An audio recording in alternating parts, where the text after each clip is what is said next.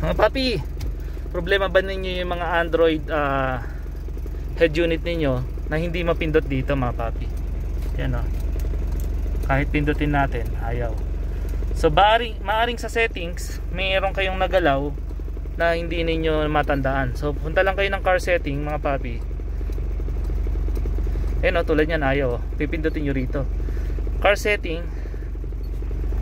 And then system factory setting pindutin niyo siya and then 1617 yung password ng sa akin. So sa inyo refer to your ano user manual depende sa inyo kung anong password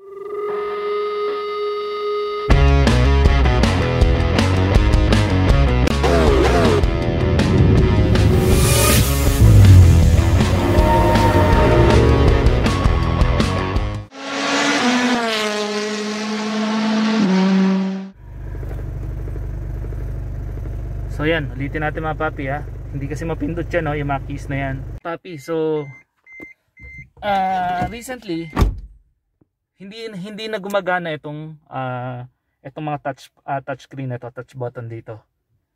So pag ganyan, maaring meron kayong nagalaw sa settings na hindi niyo na matandaan.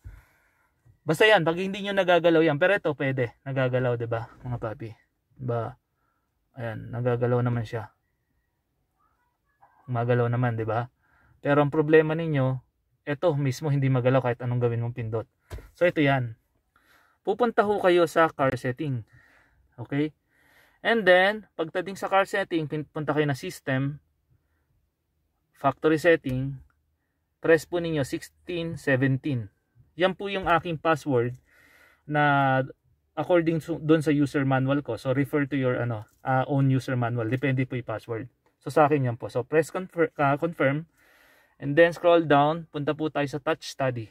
Alright, ulitin natin na car setting, tapos uh, punta kayo na system setting, then factory setting, 1617 ang ating user uh, user uh, password. Depende sa inyong user manual. Please uh, refer to it. Then press confirm. And then scroll down. Punta po kayo sa touch study. Uh, punta kayo ng touch study. And then touch calibration muna tayo mga papi. So sundan nyo lang po yung red dot na yan. Yan. Okay, confirm. And then punta tayo ng touch study. Alright, so sabi niya, click start. First, click the interface button, then click the corresponding touch keys, etc. etc. And then press down yung start. And then, so click muna natin to. Dito muna tayo. Tapos susundan natin yan. And then home button, tapos home button din. Kung ano yung pinindot ninyo dito, yun din yung pipindutin nyo rito. Yan. Kung ano pinindot nyo rito, yung uh, volume up, volume up din. And then volume down, volume down din. Then press and Alright, so click nyo na muna dito and then try ho natin mag uh, play ng sounds. Okay. Play. Ayan. So ito ni volume oh.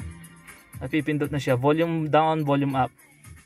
Tapos yung home button, tsaka yung back button. Okay. So nawawala na siya. Ayan. So ganun lang po. Sana all. So pagkatapos ng proseso na ginawa po natin mga papi, huwag kakalimutang i-save. Yan, pindutin nyo po yung save button na yan mga papi. Ano na siya kagad, ganun lang kasimple. So mga papi, dating gawi, kung uh, may natutunan po tayo dito sa ating uh, Android head unit na hindi nating, uh, kasi minsan komplikado po ito eh. Uh, please do like, comment, share, and subscribe and papi power.